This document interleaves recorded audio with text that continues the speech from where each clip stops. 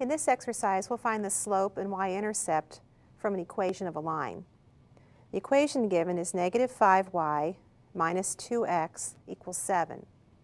Now we can read the slope and the y-intercept of a line directly from the equation if the equation is in the form y equals mx plus b. Unfortunately, this equation is not in that form but we can write it in that form if we solve it for y. So let's solve this equation for y. We'll begin by adding 2x to both sides of the equation to get negative 5y equals 2x plus 7. And then we'll divide on both sides of the equation by negative 5.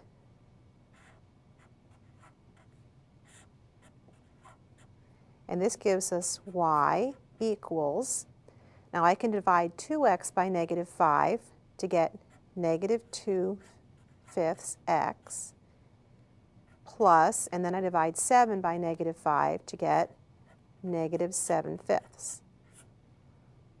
Since I've solved for y, this is now in this form, and I'll write it underneath here. y equals negative 2 fifths x plus negative 7 fifths. And we can see that m is negative 2 fifths and b is negative 7 fifths. That tells us that the slope, which corresponds to the m, is negative 2 fifths. The y-intercept, which corresponds to the b, is the point 0, negative 7 fifths.